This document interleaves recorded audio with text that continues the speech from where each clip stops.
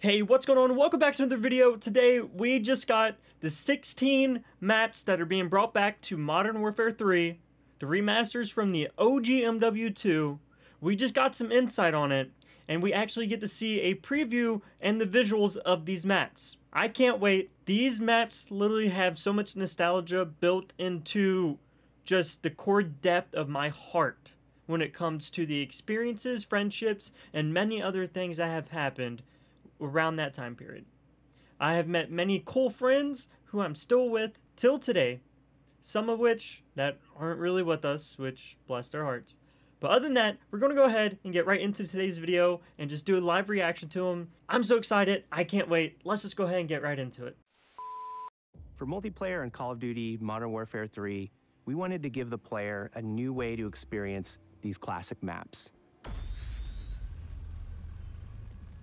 When we told the art team, we're gonna be making these maps, they lit up. They were like calling dibs on which ones they wanted to go get reference for. Maps really come through. They feel like they felt back then. And when you're playing high rise, when you're playing Estate, you feel really transported back. We questioned a lot of what was good about the movement of older games, what was good about the gunplay of older games, and the same with the newer games. So we tried to marry a lot of those things together. The way we approach it is that how are we going to make these the best versions of those maps that people have ever played? Because that's what we wanted. That's what we want as fans. There are places where the metrics of the level are adjusted to fit more modern gameplay, but for the most part, it's going to feel incredibly similar. The biggest changes are really in a fidelity sense. Places like Afghan, where it might have been difficult to see somebody in some of the circumstances, we have new tools to make that both look better, but also read better so that your target acquisition is improved. Favela is a map where it really pushed our opportunities to explore what you couldn't do in the old one and what you can do now. From an artistic side, the map has more detail than I think any other map.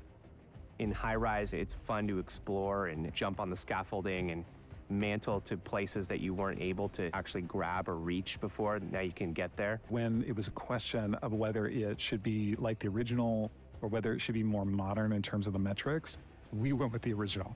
And we pushed very hard to make sure that that experience was as close to the original as we possibly could while we modernized the look of the map. I've seen people play it for the first time and they don't really know what they're gonna see. And when that load screen shows up for Favela or for Quarry, you see them light up like, oh my gosh, these are the maps that I've been hoping they would remake.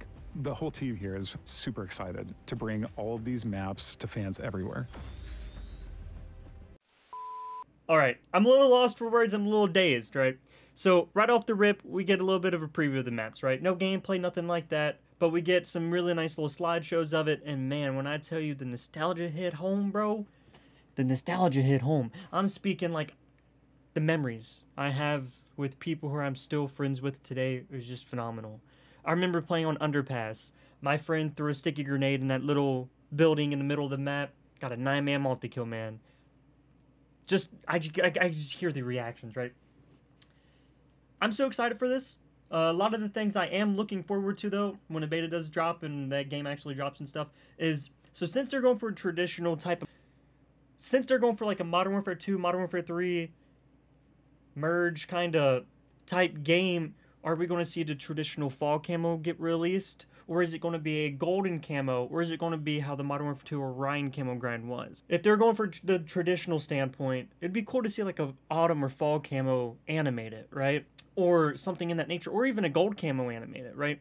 Like the BL1 OG gold camo. Something like that with the animation of it. Who knows, right? Or we get a dark matter camo. Who knows, man? I'm really excited. All right. I'm really excited. Ladies and gentlemen, I Cannot wait for this game. Every single day that goes by, I'm itching just to get my hands on it.